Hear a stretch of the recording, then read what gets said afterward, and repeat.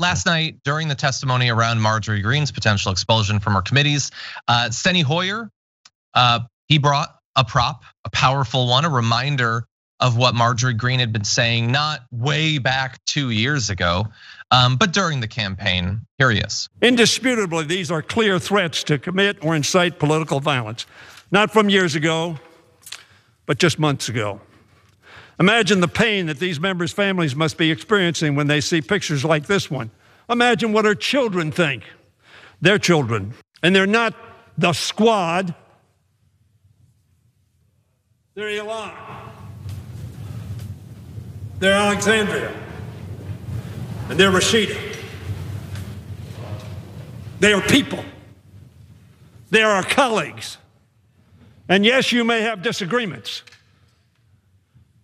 But I don't know anybody, including Steve King, who you precluded from going on committees for much less. And this is an AR 15 in the hands of Miss Greene. This was on Facebook just a few months ago. Add that to the list of things that she did not apologize for. Um, yeah, that that image with defeat the Democrats in full, like you, you you held a gun because you like the imagery of you being the person with the gun next to these people that you've said need to go back to their country and that they weren't properly sworn in because they didn't swear in a Bible, even though that's not true. Um, it's just a threat to violence. That's all it is. And we're supposed to pretend that it's not, or that there's some ambiguity or the, the water's a little bit muddy. It's not, it's not. She had the gun to threaten them. In the chat, someone was reminding us of the story of the gun dealer who had a big billboard with the squad on it that's not a thing that we then have to debate to try to figure out what was going on in their minds. It doesn't require some sort of mind reader. We know exactly what it was. They like either threatening directly or they much more so. Marjorie Greene knows that her voters want violent threats against these women. That's why she puts out images like that. Yes. And yeah, it is undebatable. And then their counter argument that you hear all over the place is something to the effect of, well, she's just a freshman congresswoman, which is so frustrating in every possible respect. Because first of all, there she was asked this morning about her what how she's like AOC, and she's like, well, and it and this is after doing like a technical, more technical apology this morning in front of the you know in DC, and then she went on and um and was asked like, what is you know, are people are comparing you to AOC and after she's fielding a question from OANN. And she's like, I think we're the same because we don't really care what other people think of us. The only difference is AOC likes communism and I don't. But it's like, no, you are the person out there with a photo of you holding a gun next to her face. That's different. There's a huge difference. We did a story last week about how they call AOC and Marjorie Taylor Greene mischief makers.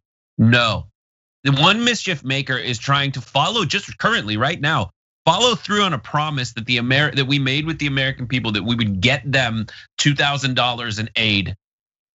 And it was voted on in Georgia.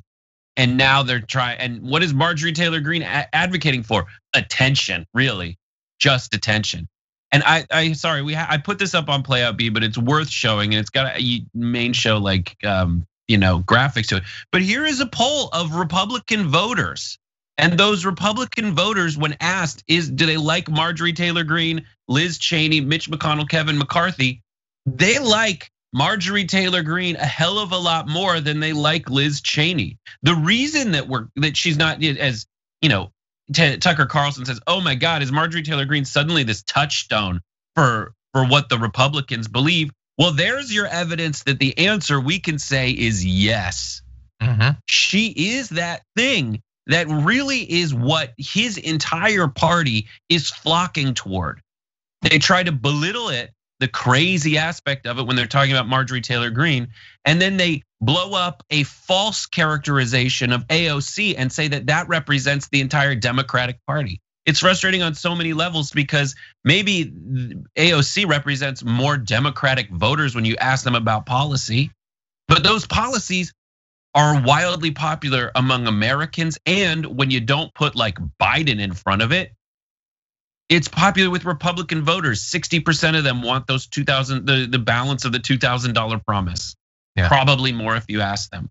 That's what's so wildly frustrating about all this is that they're trying to draw false equivalencies when in reality Marjorie Taylor Greene is advocating and has very recently in the not too distant past for murdering people.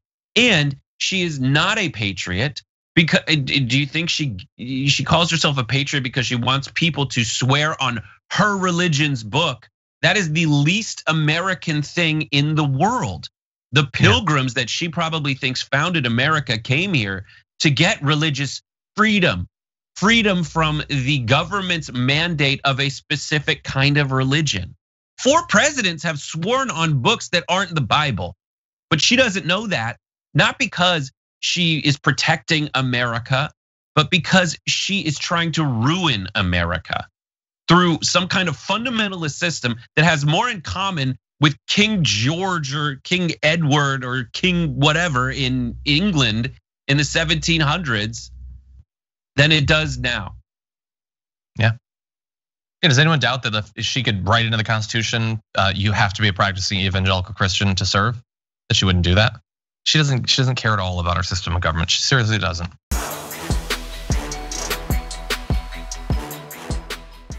For more political news breakdowns, interviews, stories of activism, and me trying my hardest to care about the occasional big celebrity news story, subscribe to our YouTube channel at youtube.com slash the damage report. And you can ring the bell wherever it is so you don't miss anything.